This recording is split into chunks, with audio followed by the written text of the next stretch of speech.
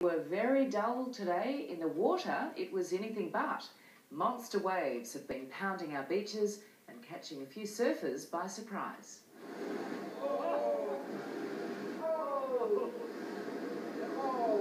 Sydney surfers wiped out. The angry swell just too much for some at Manly today. For others, the ride was far smoother.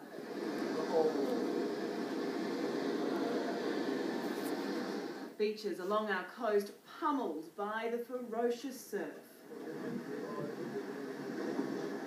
Strong southwesterly winds whipped up the wild waves, some as high as four metres, the swell swallowing ocean baths at Mona Vale.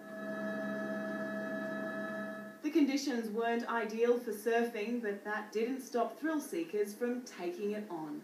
Many chose to watch from the shore with their brollies, but others forged ahead despite the drizzle. Nothing could interrupt this man's morning swim at Manly. The good news is the surf will be back tomorrow, but it won't be as rough.